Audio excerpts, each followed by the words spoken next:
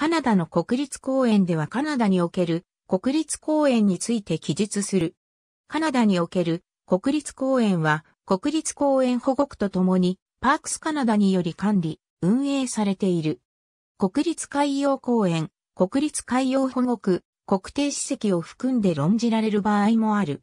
国立公園運営業務の目的は、国土の内独特の自然を誇る地域を保護する制度を構築することにある。パークスカナダは、その運営組織として、国道39区域に分け公園制度を設ける計画を実行している。カナダの国立公園では、まず公園の生態系維持、そして市民がカナダの自然地域を探訪、学習し、楽しめるようにすることを運営の主眼としている。国立公園保護区と呼ばれている地区は、一旦土地所有の問題が解決すると、国立公園となる。このような国立公園保護区は、パシフィックリム国立公園保護区、クルエーン国立公園保護区、ナハニ国立公園、グアイハーナス国立公園保護区などである。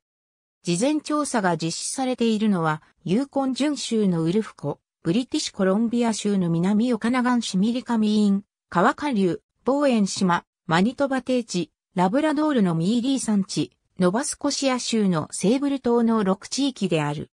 国立海洋保護区は国立公園制度の中でも新しい制度である。陸地上の国立公園よりも生態系維持のための保護区指定という色彩が濃い。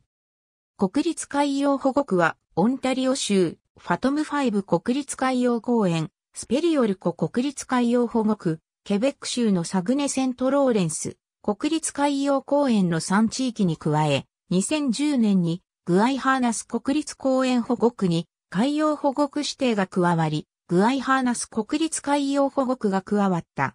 また、ブリティッシュコロンビア州のジョージア海峡南部、ヌナブト準州のランカスター海峡で事前調査を実施中。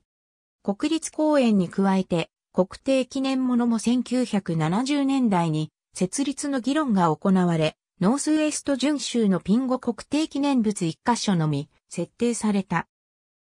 Canada national park for Bowen Island under assessment。The Globe and Mail http www.theglobeandmail.com news national British Columbia national park studied for Bowen、Island、article 1649211。cmpid、イコール RSS1、Sable Island to become、national park、ハット Sable Island to be protected as、a national park、ハット Victoria Times Colonist、marine ecosystem off Haida Gwaii、from、deep ocean to mountain tops、protected、ハット map of the proposed Southern Strait of Georgia、NMCA、reserve with further links、The Canadian Press、CBC News、Feds to fund Northwest Passage marine park study CBC、ca、2011年2月28日閲覧。